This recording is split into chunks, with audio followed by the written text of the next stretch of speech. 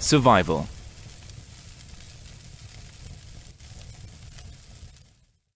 Have you ever heard of stories of people involved in extreme weather conditions or freak accidents that managed to come out alive?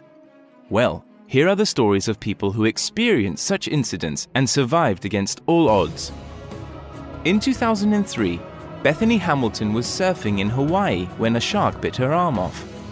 She was just 13 at the time, but since then she has learned to surf with one arm and has won many surfing titles. Her story inspired the creation of the film Soul Surfer. During the years of the Great Disaster in Kazakhstan, Abylai Abilmansur became an orphan when enemies attacked and killed his family. He amazingly survived and grew up to be a great warrior, well-respected politician and military commander. In 1994, Mauro Prosperi was taking part in a desert marathon in Morocco when he got lost in a sandstorm. Nine days later, with no food or water, a nomadic family found him and brought him to hospital.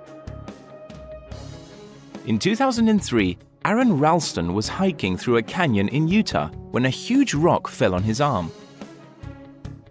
After being trapped for five days and seven hours, he bravely cut his arm off with a small penknife to survive.